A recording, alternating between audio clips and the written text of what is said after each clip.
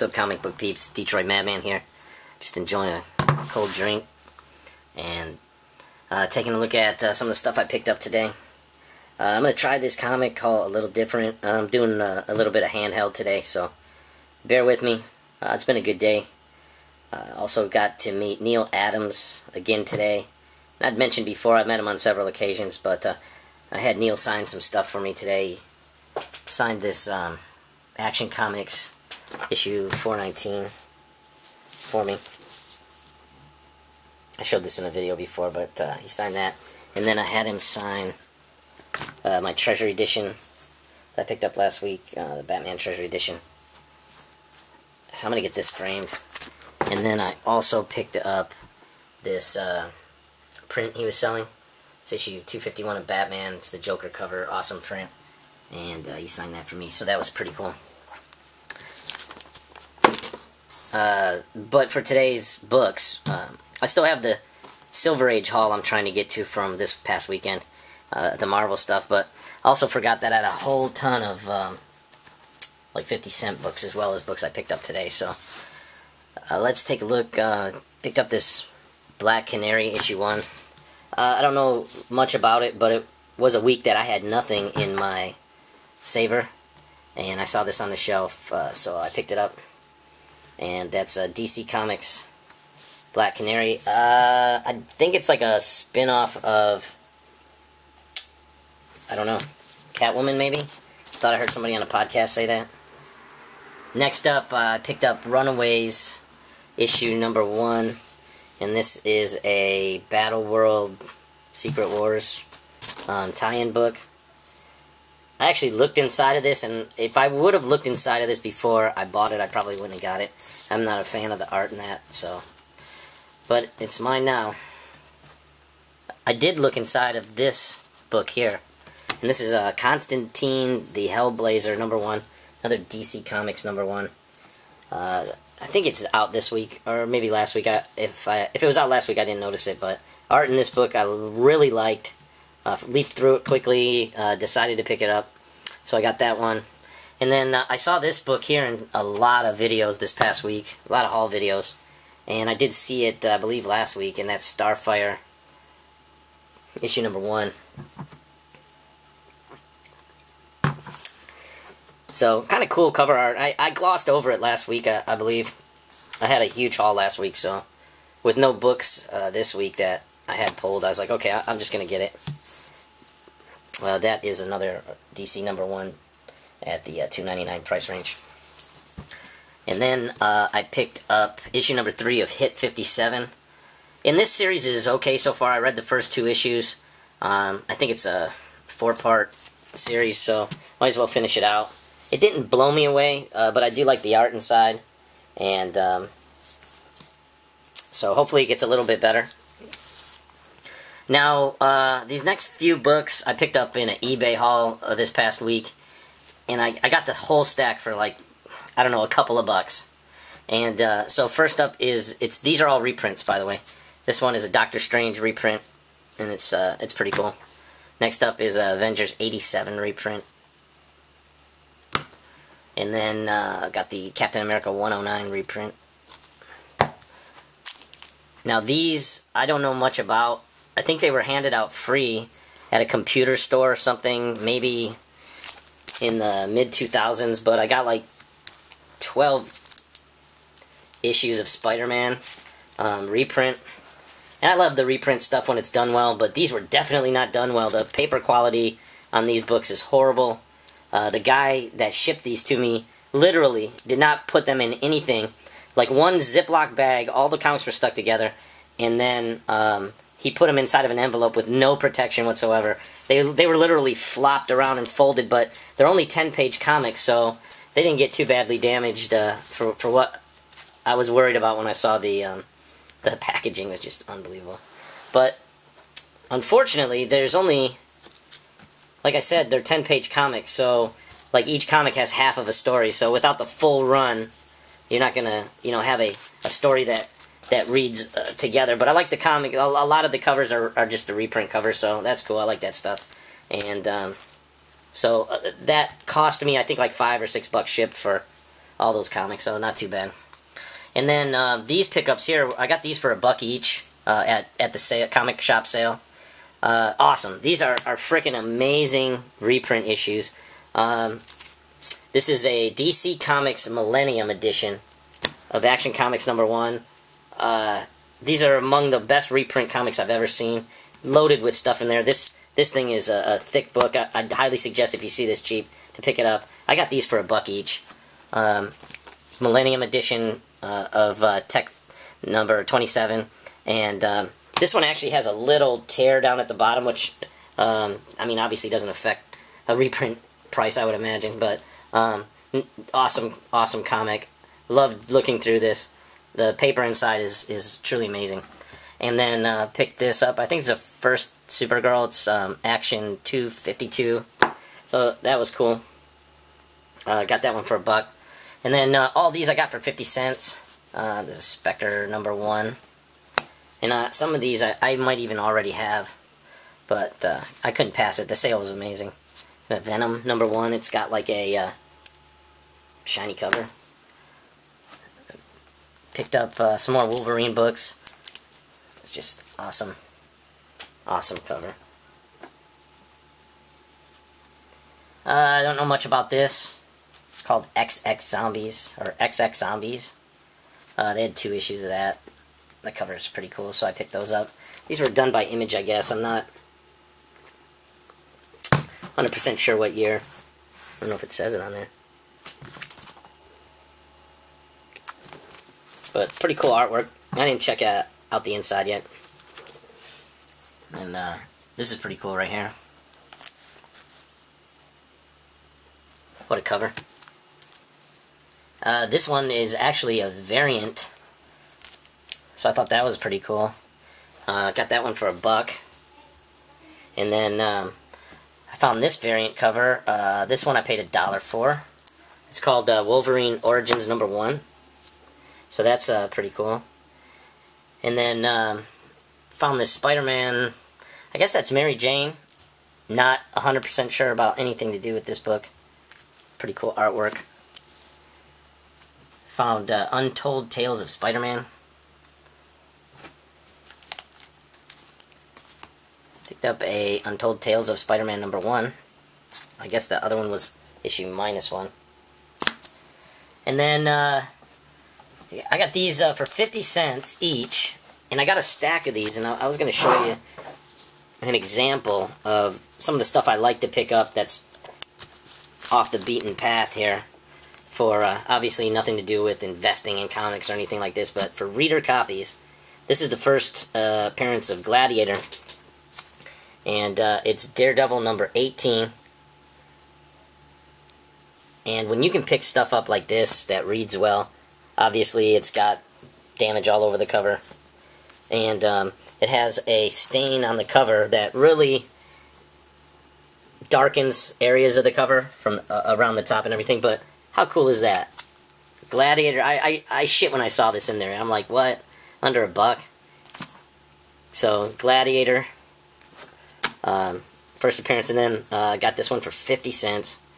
And um, this is the power of him. Uh, I forget the significance of this, but the cocoon thing is like a first appearance of somebody or whatever. And um, it's Fantastic Four, issue number 67, under a buck.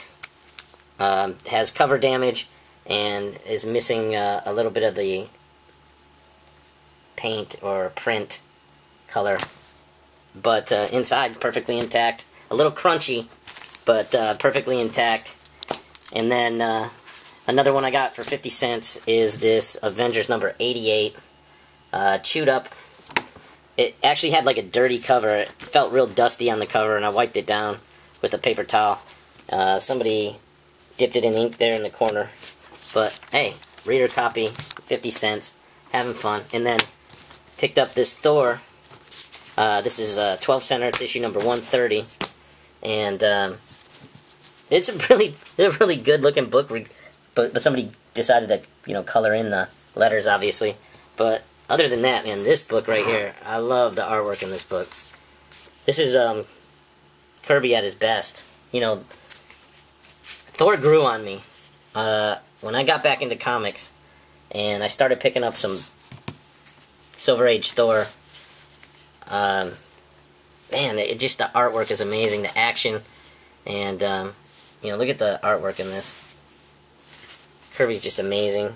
Yeah, Hercules down there. Love the action. Amazing panels.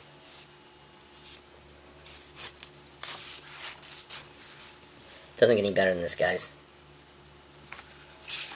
Not bad, not bad for a buck. Hey, it's a filler, and, uh, you know, is what it is.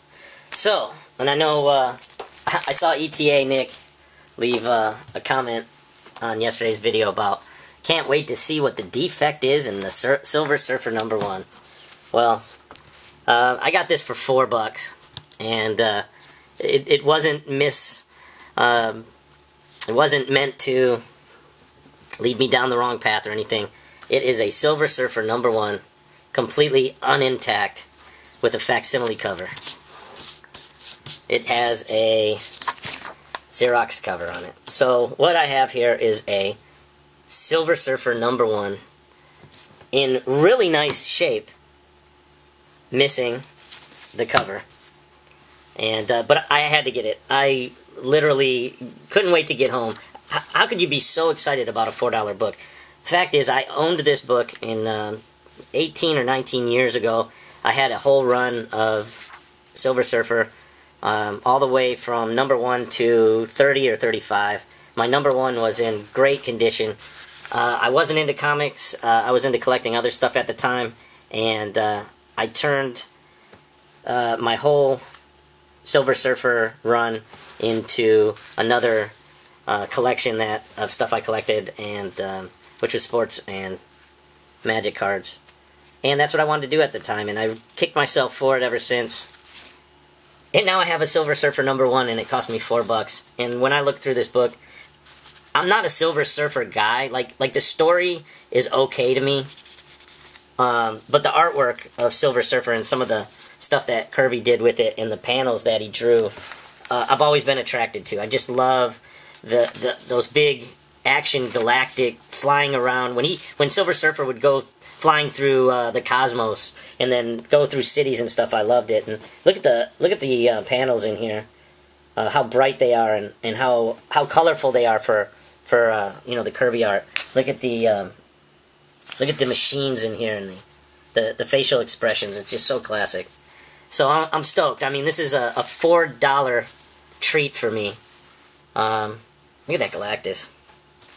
And there's three or four really amazing full panel um, pages in this comic by itself. Just like some of the best stuff you've ever seen.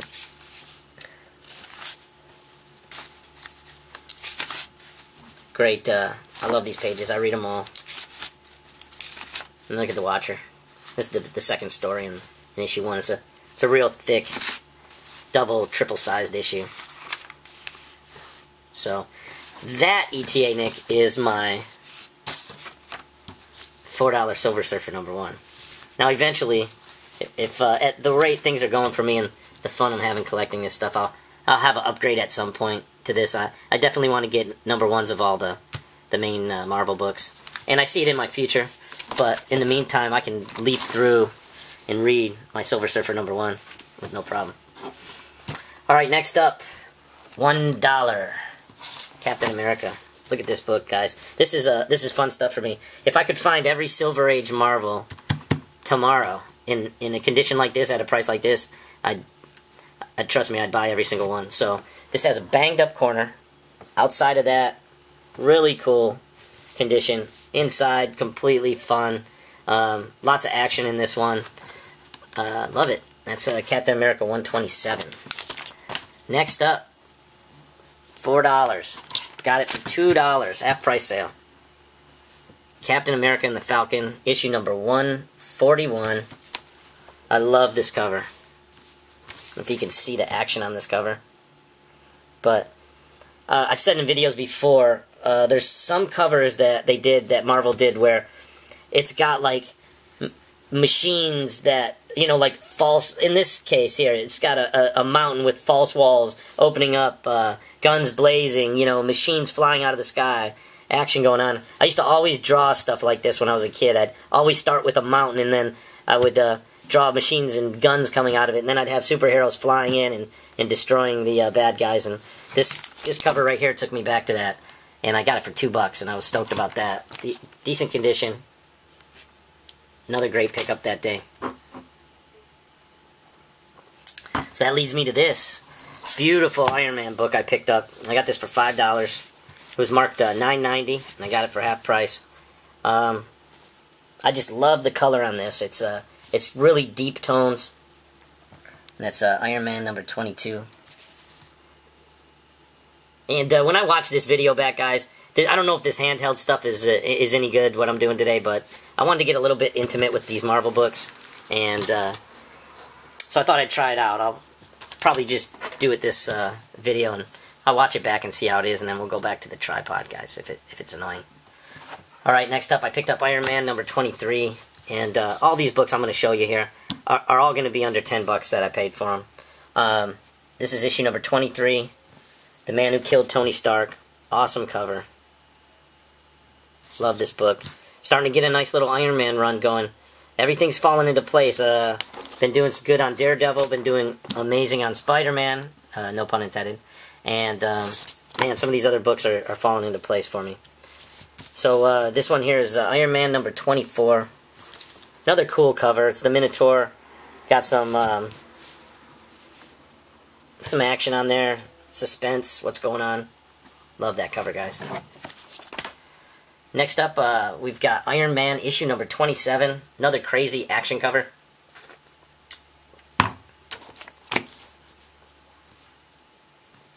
And this is uh, introducing the Firebrand. Not familiar with this uh, villain. But uh, cool cover nonetheless. Can't wait to read some of these Iron Man books. Alright guys, next up, check this out. Issue number 38. Invincible Iron Man. Still rolling Iron Man. Found a lot of good deals on these books. Love the artwork. Can't wait to read the stories. Next up, Iron Man number 90. This is for a couple bucks, guys. At the damsel in distress. You know I love the dames. Good stuff. Tales to Astonish, issue number 88. Phenomenal cover. I love this cover. I'm like a so-so Submariner guy. I'd rather have a lot more... I don't know. I'd rather have different characters than Submariner, um, but this is a cool cover. Definitely worth uh, what I paid for it. I mean, I have less than $5 into this book. Simply amazing. I was so happy to get this one. This is Tales of Suspense, number 67. I love this cover. Got that 3D view. Look at the punch coming. Look at the staff. And then look at Iron Man. I love that. These old Iron Man covers. Just love them. Then it has a little bit of uh, cap at the bottom. Stoked about that. And then check this out, guys. Tales of Suspense number 99. Iron Man and Captain America. Can't beat that cover. At the mercy of the Maggia. Or the Maggia. Or something like that.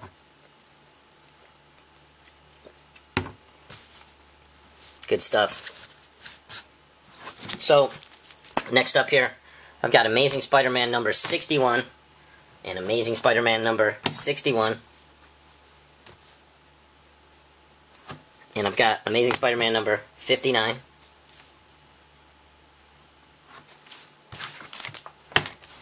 Couldn't pass up the deal. Um, I'm picking up the Spider-Mans, and when I find the sales, I'm, I'm just grabbing them. Um, it's amazing to me how in uh, how things have fallen into place with my Amazing Spider-Man collection. I've uh, found a lot of books I love. I haven't had to do eBay, but, but, except for a few books that I just went out and got excited about right away. And then um, I've banged out maybe like 25 or 30 Silver Age Spider-Mans in the last couple months. I'm completely stoked about it. And then, uh, look at this. I've been wanting to get this one. Amazing Spider-Man number 62. Five bucks, guys. I can't even believe it. I've lost bids on books that looked this good on eBay for triple, quadruple that. And even more. I mean, look at that. So cool. But what else am I going to get excited about? I got it. The Madness of Mysterio. One of my favorite covers of all time. Issue number 66. Four bucks, guys. Come on. You gotta love that. I love the price. I love the book. Everything's... It's got a little bit of uh, water damage on the cover there. But what a great reader. I mean, unbelievable. A high, fun um, book and great, great filler for, uh, for the Spidey run. Next up, Daredevil number 37. Doctor Doom cover. Check this out, guys. That's so awesome. What do I got? Daredevil number 25. The Leapfrog. Check that out.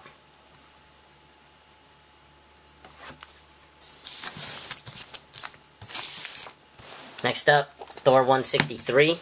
Some more Thor books. Where Dwell the Demons.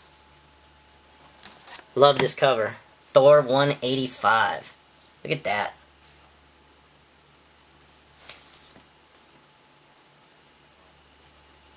Next up, Thor number 160.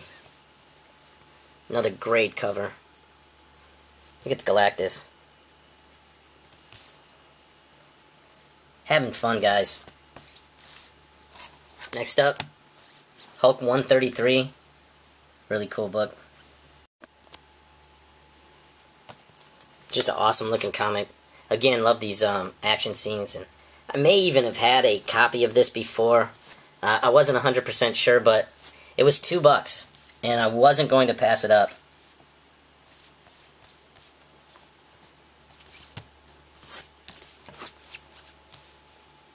Alright, next up. This is one of my favorite books. So when I was a kid, um, I'll give you a short story here. I know it's getting super long video, but Annihilus scared the shit out of me. Um, there is a comic, and I have it over here somewhere. This book right here is a comic from my collection uh, when I was a kid. And when I picked this book up, I dug through my um, comics from when I was a kid because I knew this was the character that scared the shit out of me. And this book right here, um, I got when I was probably five or six years old. And um, the uh, fight that they have with Annihilus in this book is so memorable to me. Um, and, and the whole mission they were on, and just this this book, whatever it was about this specific Fantastic Four book, left such a, a lasting impression on me. Um, it just, I highly suggest picking this up.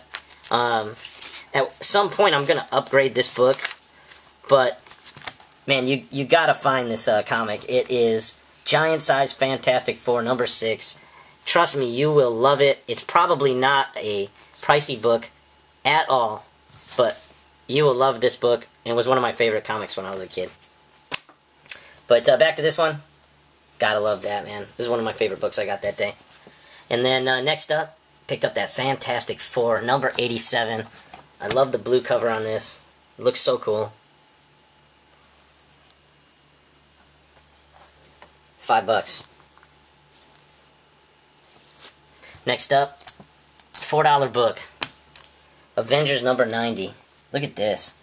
The color on this book is awesome. Um, check that out. You know, you got Wasp. I, I love uh, Quicksilver, Vision, Scarlet Witch, and there's some guy with a club. And it's funny because this is the second comic I have now where a guy with a wooden club is fighting the Avengers on the cover. Just crazy. Mightiest heroes on Earth. Alright, next up, guys. Have to go back to Iron Man one more time. Check it out. Iron Man number 17. The beginning of the end. Look at this cover. Tony Stark. Iron Man, what's going on here? I can't wait to read that one. Issue number 17. And then here we go. Uh, five bucks. Avengers number 37. It's got a massive uh, soft spine. Kind of raggedy there, but everything else in this comic super intact. Good to go. I read this already. It's okay. It's okay. I wanted to love it a lot more, but it hey, it's Avengers number 37, and um, it's one step closer to putting crazy Avengers run. Hey, what's going on, guys? Check it out. Did I do good? Is this a fun haul or what? What do you think? Good stuff. You like my, uh, do you like my Silver Surfer coverless Xerox issue? Is that a good deal for four bucks? I thought it was. Alright guys, I'm out. It's a long video. I hope you enjoyed it though. Hit me with the thumbs up. Peace.